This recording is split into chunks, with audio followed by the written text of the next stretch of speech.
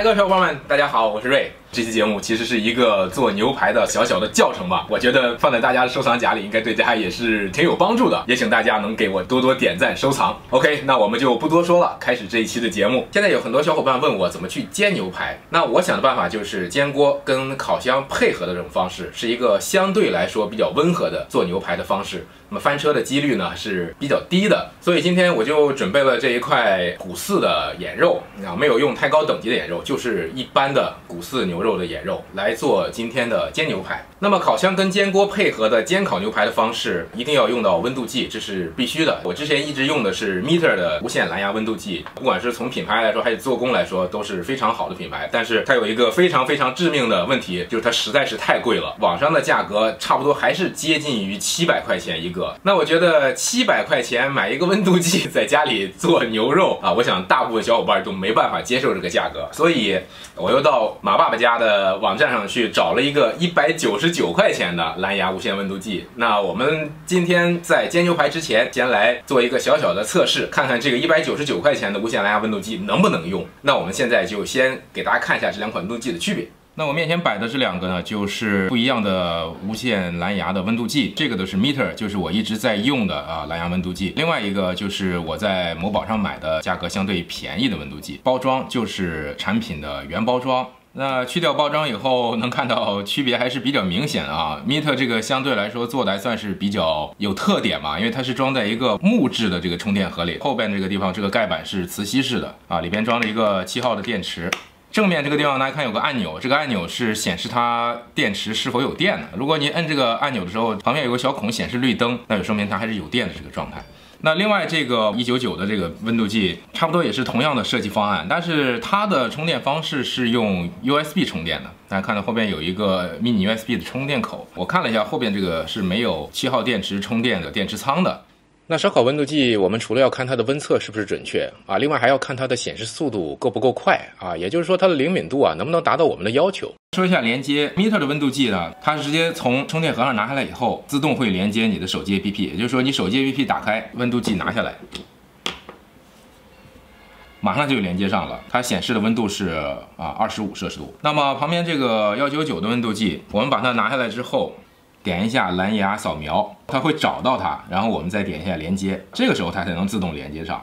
最大的一个区别哈，Meter 的 APP 是全英文的，没有找到中文的版本。一九九这个温度计，大家看到它是全中文的，这个地方会显示啊什么牛肉啊、羊肉啊、鸡肉什么的。啊，他们全部都是中文的，这个我觉得对大部分小伙伴来说还是比较友好的哈。那因为我这里没 没有什么专业的检测设备啊，咱们就用一个比较土的办法啊，我准备了一杯冰水，同时把两个温度计放到冰水里去。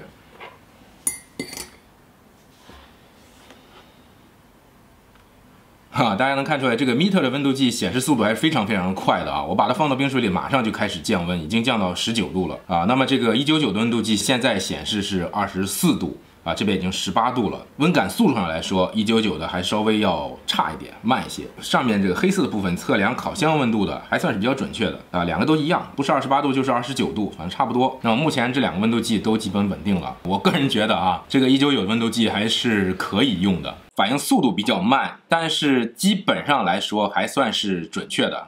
那小火慢烤的话，我觉得还是可以用这个幺九九的温度计的。但是如果是大火快烤就不太合适了。好，接下来我们就开始处理今天的肉眼牛排。先把眼肉两边外层不平整的部分薄切一公分下来啊，那这个我们留着以后炒菜吧。今天的牛排呢，我们就用两指宽吧，啊，大概是四公分左右。能看到目前的牛排还是比较松散的。所以我们要用到棉绳来定型啊，这样可以确保均匀的受热，还有外形的美观。腌制牛排还是用盐和黑胡椒，盐磨黑胡椒呢，一定要把颗粒度啊调到最大，才能发挥胡椒的风味。胡椒磨得越细啊，它的辣味就会越明显，相反风味呢就会越淡啊，所以一定不要买那种袋装的胡椒粉。牛排下锅以后不要改小火啊，并且不要同时煎几块牛排，因为牛排需要足够的空间去蒸发水分，表面啊才能完美的焦化。我用的是二十六厘米直径的煎锅，大家就作为一个参考吧。每一面煎六十秒左右啊，记住多次翻面啊是只有好处没有坏处的。出锅后我们不盖铝箔，静置十分钟左右。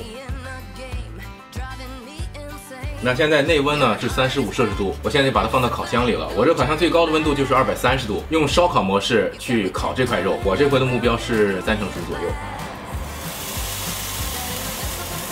时刻观察的温度计啊，你一定要知道它现在肉的内温是多少啊，以防过熟啊，生一点你还有办法去把它救回来，过熟了你是没有办法把它返回到生的状态的，这个一定要记住啊。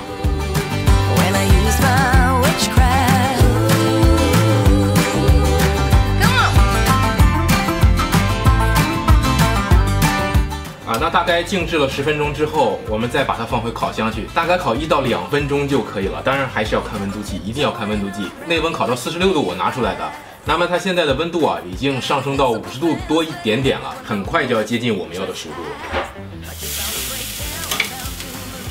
那么现在就是最后的步骤了。那这个时候大概过三十秒，我们要翻一次面，一直到它完全达到我们要求的熟度，我就把它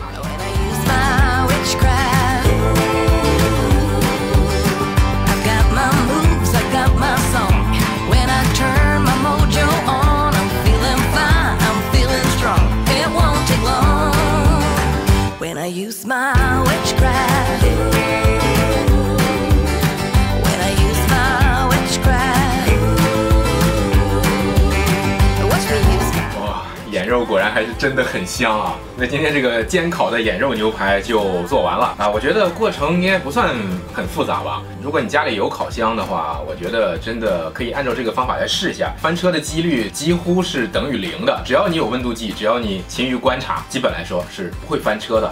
先尝一尝，